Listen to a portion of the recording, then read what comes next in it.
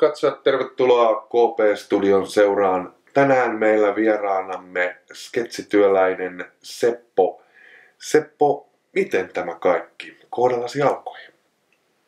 No kaikki alkoi oikeastaan jo nuorena. Mä olin alakoulussa ihan, ihan tavallinen tyyppi, ei mulla ollut silloin minkäännäköistä sketsielämää. Siinä vasta peruskoulun jälkeen oikeastaan ajaudun sellaisiin huonompiin porukoihin. Seppo, miten nuoresta älyköstä tuli sketsityöläinen? No se alkoi aika viattomasti. Tiedätkö, niin kuin lukion välitunnilla pari kaveria alkoi vähän sillä salaa heittää vitsiä roskisten takana. Sitten viikonloppu alettiin käymään kaupungilla. Siellä ne jutut oikeastaan sitten alkoi kunnolla naurattaa. Vähitellen mä sit siitä ajauduin komediaklubille iltaisin. Koulumenestys romahti. Mä olin ihan poikki viikonlopun nauramisesta. Mä aloin itsekin vähitellen siinä sitten vääntää vitsiä. Se oli kaksi sellaista kokeilua itsekseen, kellaris vähän nopeasti se vei mukana.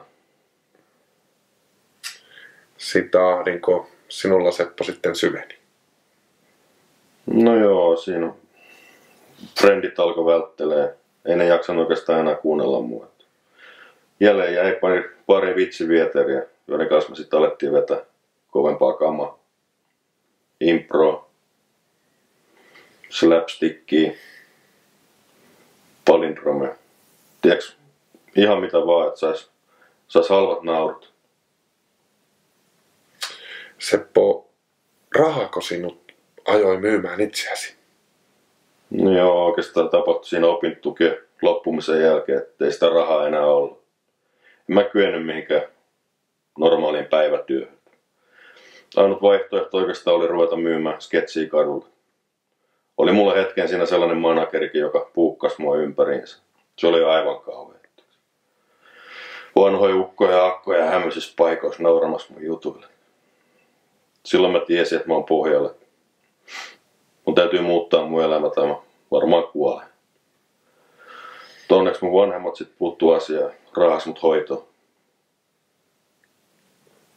Seppo, minä ja miljoonat katsojat siellä ruudun takana tahtoisimme tietää, mitä sinulle kuuluu nyt. No nyt mä oon ollut pari vuotta naamanäkkärillä. Aina silloin täällä, kun joku liukastuu banaanikuoreen, niin tekisi mieli heittää pienet parodia.